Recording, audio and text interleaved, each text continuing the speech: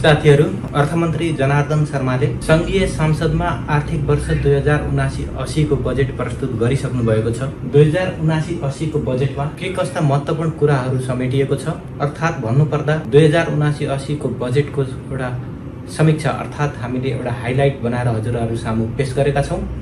Video पुरै हेर्नुहोला अति नै लाभदायक भिडियो हुनसक्छ। ल आउनुहोस् सुरु गरौँ।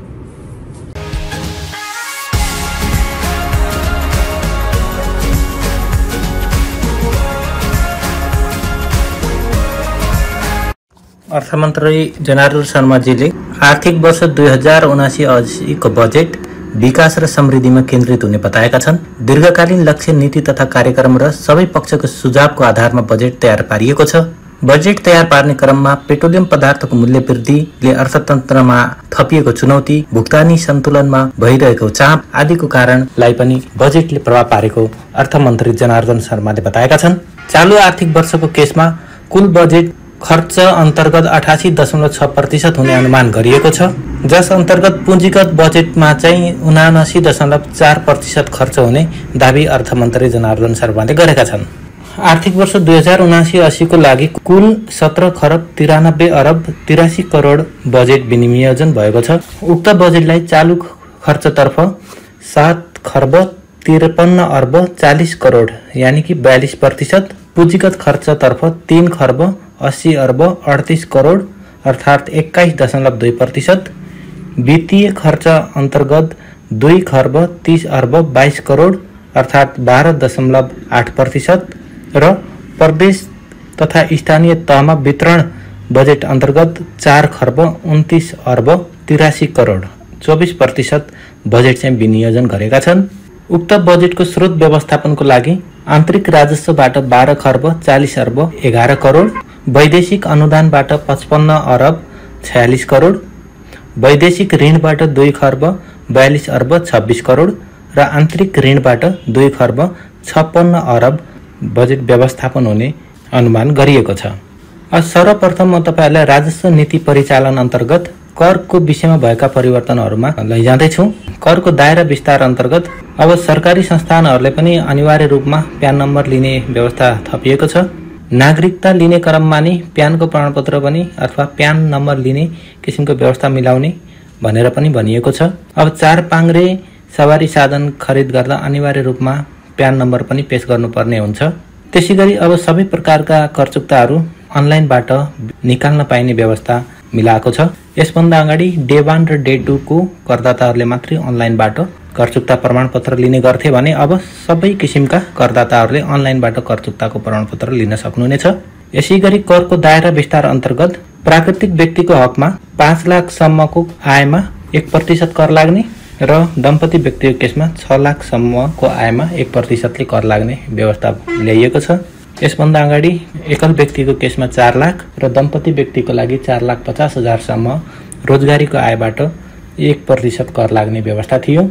अहिले सो व्यवस्थालाई परिमार्जन गरेर एकल व्यक्तिको केसमा पाँच लाख र दम्पति व्यक्तिको लागि छ लाखको सीमा बढाइएको छ। यसै गरी बिमा प्रिमियम अन्तर्गतको चालिस हजारसम्मको खर्चलाई अब खर्च कट्टी दाबी पाउने व्यवस्था थपिएको छ।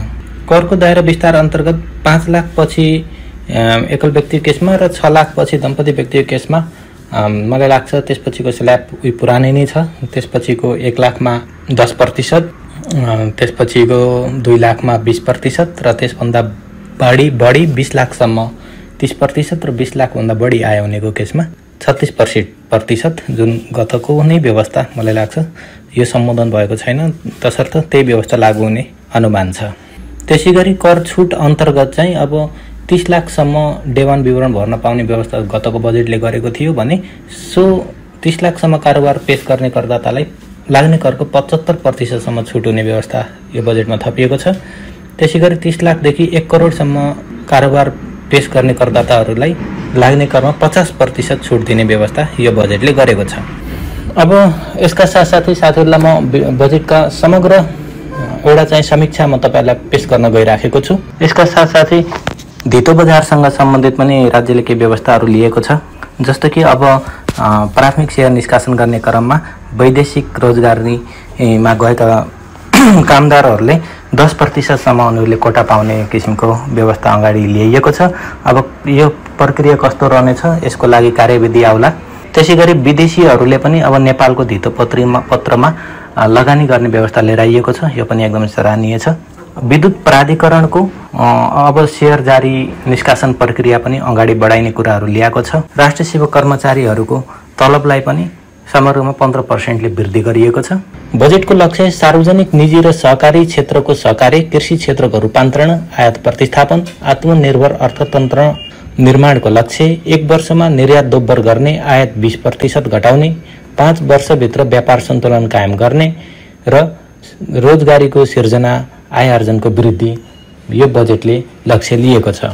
त्यसै गरी कृषि बजेटमा पनि विभिन्न घोषणाहरू भएका छन् जसमध्ये आगामी आर्थिक वर्ष नेपालको आयात बिस प्रतिशतले घटाउँदै व्यापार घाटा घटाउने सरकारको लक्ष्य छ। आगामी वर्ष धान मकै गहुँ र फलफुलको आयात तिस प्रतिशतले घटाउने र समग्र आयात बिस प्रतिशतले घटाउने लक्ष्य सरकारले लिएको छ। उखु किसानलाई अनुदान दिन अस्सी करोड रुपियाँ विनियोजन नगदे बाली खेती गर्ने किसानलाई प्रोत्साहन गरिने लक्ष्य सरकारले लिएको छ। दुई लाख गाई र दुई लाख भैँसीलाई उन्नत नसलको कृत्रिम गर्भदान गराइने पशुजन्य उत्पादन बढाउने लक्ष्य सरकारले लिएको पाइएको छ। आगामी पाँच वर्षभित्र नेपालको वैदेशिक व्यापार घाटालाई सन्तुलनमा ल्याउने किसिमको निर्यात प्रोत्साहन गर्ने लक्ष्य लिएको छ। तसर्थ कृषि मन्त्रालयको बजेट पन्ध्र अरब सन्ताउन्न करोड विनियोजन भएको छ। यसै गरी बजेटको पहिलो प्राथमिकतामा कृषि रहेको छ। सबै वडामा कृषि प्राविधिकको व्यवस्था हरेक स्थानीय तहमा कृषिमा आधारित प्रधानमन्त्री रोजगार कार्यक्रम उत्कृष्ट तीन पालिकालाई प्रोत्साहन स्वरूप पाँच करोड रुपियाँ उपलब्ध गराइने प्रधानमन्त्री कृषि आधुनिकीकरण परियोजना पुनर्संरचना गर्ने किसानसँग सरकार कार्यक्रम किसानलाई पेन्सनको व्यवस्था गर्ने रासायनिक मल खरिद गर्न पन्ध्र अरबको विनियोजन यो बजेटले गरेको छ। त्यसै गरी उद्योग तथा व्यापारमा पनि दस अरब चालिस करोड रुपियाँ विनियोजन भएको छ जसमध्ये मुख्य विषय निर्यातमा आठ प्रतिशतसम्म अनुदानको घोषणा गरिएको छ। निर्यातमूलक उद्योगलाई दुईदेखि पन्ध्र प्रतिशतसम्म विद्युत महसुल छुट दिने व्यवस्था ल्याइएको छ। निजी क्षेत्र इन्जिन अफ ग्रोथ उद्योगमा लगानी बढाइने कर प्रशासन सुधार र पूर्वाधार विकाससहित आवश्यक सहजीकरण ऋण उद्योग पुनर्सञ्चालन एवं उद्योगमा विदेशी लगानी भित्र्याउने उद्योग वाणिज्य तथा आपत्तिका लागि दस अर्ब चालिस करोड रुपियाँ विनियोजन गरेको छ। यसै गरी उद्योग पर्यटनलाई प्रोत्साहन गर्ने पनि यो बजेटको नीति छ जस अन्तर्गत उद्योग वाणिज्य तथा आपूर्ति मन्त्रालयका लागि दस अरब अडचालिस करोड छुट्याइएको छ। पर्यटनलाई दुई अरब बजेट थप गरिएको छ भने थप दस लाख पर्यटक भित्राउने गरी कार्यक्रम सञ्चालन ल्याउने लक्ष्य लिएको छ।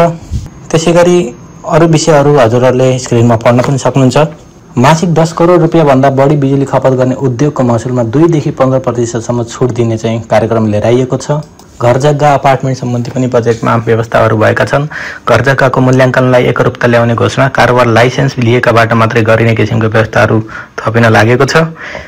उद्यमशीलता तथा वैदेशिक रोजगार अन्तर्गत सातै प्रदेशमा बहुद्देश्य तालिम केन्द्र स्थापना गर्ने श्रम स्वीकृत सबै श्रम कार्यालयबाट अनलाइन उपलब्ध गराउने व्यवस्था गर्ने प्रधानमन्त्री रोजगारी कार्यक्रमका लागि बजेट व्यवस्थापन गर्ने कार्यक्रमको ढाँचा परिवर्तन गर्ने राष्ट्रपति चुरे संरक्षण कार्यक्रमका लागि दुई अर्ब सत्र करोड छुट्याउने घर परिवार सूचना प्रणालीको निर्माण गरिने राज्यबाट सुविधा परिचयपत्र उपलब्ध गराउने किसिमका व्यवस्थाहरू अगाडि ल्याइएका छन्।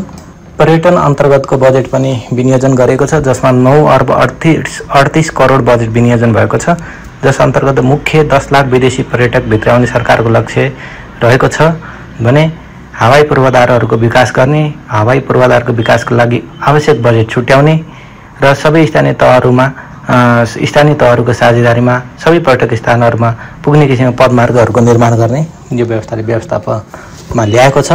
सामाजिक सुरक्षा अन्तर्गत पनि सरकारले सुरक्षा सहुलियतहरू ल्याएको छ। श्रम रोजगार तथा सामाजिक सुरक्षा मन्त्रालयका लागि नौ अरब तेह्र करोड विनियोजन भएको छ।